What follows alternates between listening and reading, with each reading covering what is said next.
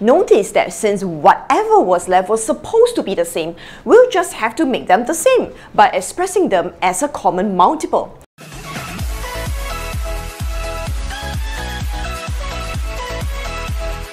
There were 1,863 soda drinks and fruit juice in the store. After 5 over 9 of the soda drinks and 1 6 of the fruit juice was sold, there was an equal number of soda drinks and fruit juice left in the store. How many soda drinks were there in the end? Notice that there was an equal number of soda drinks and fruit juice left, yet they are expressed in different fractions. Present the numbers in the table and make them the same. In order to be able to finish the entire paper leaving some time for checking, you should finish this question under 4 minutes. Pause the video and get doing!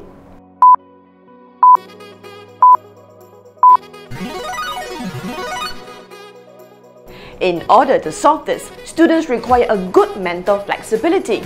Mental flexibility is one of the most important executive functions that children need in order to solve math problem sums.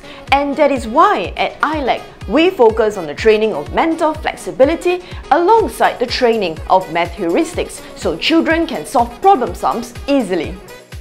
Arrange the numbers into a table. With 5 over 9 sold, there were 4 units of fruit juices left. Original total was 9. With 1 6 of the fruit juices sold, 5 units were left. Original total was 6.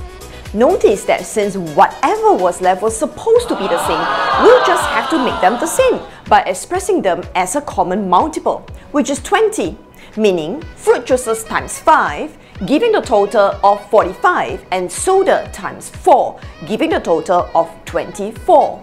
45 units plus 24 units will be the total of 1,863 drinks altogether at first. One unit is therefore 27.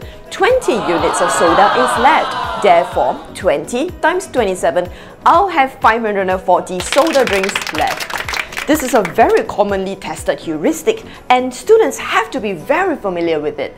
For more guidance in PSLE math heuristics and other important tips and tricks, quickly get a copy of ILLAC's very own publishing, the PSLE Math Essential Guidebook.